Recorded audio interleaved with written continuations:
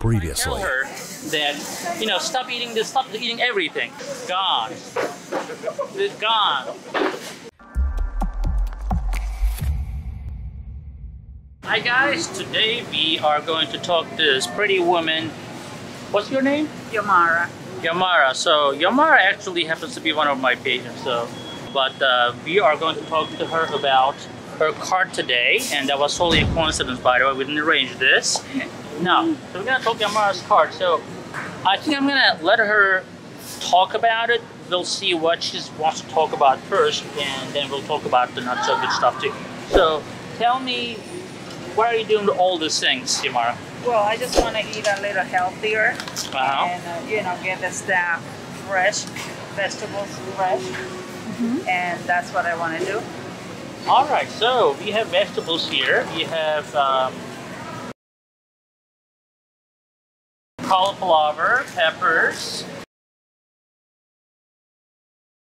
and uh, some uh, black Cabbage. cabbage. So that's good. What do you think about the grapes? Are they okay?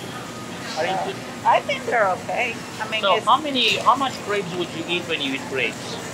Oh boy.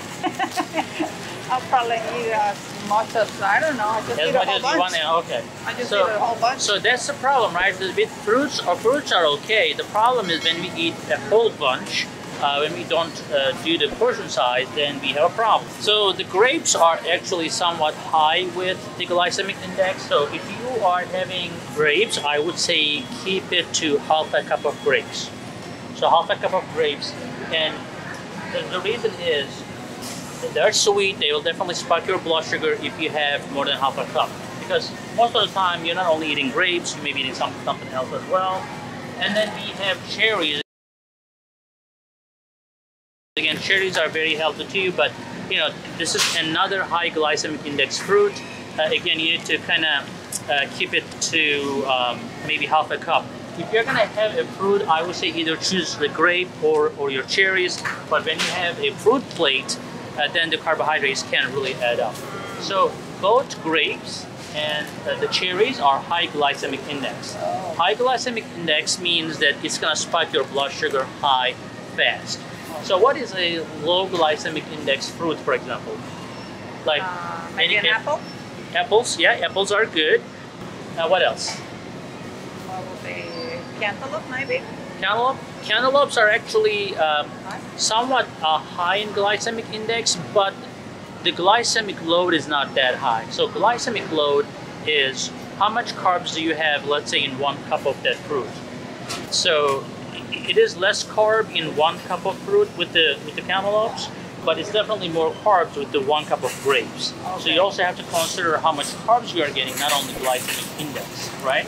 So it's like you can borrow money. You can you can you are looking at the interest when you're buying a house, but you also have to pay attention how much money you're borrowing, right? So even if your glycemic index is low, if you eat enough of something, your blood sugar can still go high enough. Uh, so uh, the berries berries are probably the best to uh, to consider. Do we have any berries here? Uh, no. Okay, let's go get some berries. and let's go get some apples. We're gonna get some apples, and I think we have some juices here. Yeah. So juices are never a good idea because they basically strip them out of their fiber, and when there's no fiber, your blood sugar will spike way faster. Okay. So whenever whenever you're doing uh, fruit, make sure again orange juice here. Even if they say with pulp or whatever, it really doesn't matter. It's gonna spike your blood sugar tremendously high. The only time you would use a juice if your blood sugar is really really low. Let's say your blood sugar is down to 50. Then you want to get juice because juice really spikes your sugar fast, and you don't want to wait for your blood sugar to come up when your blood sugar is low. Uh, but other than the low blood sugar situation, we never recommend the juice. Um, so we got water here, and then we have some uh, some, some cake, which is a, a no-no, no pastry, no bakery. They, these are no-nos. So let me ask you this: Why pastry is not good for you? Forget about the carbs. What else is bad in it? Uh, probably the um, starch. Starch, carbs. Yeah. What else? Uh, what- The worst thing in fat. the fat. But fat actually is not a bad thing normally, No. right?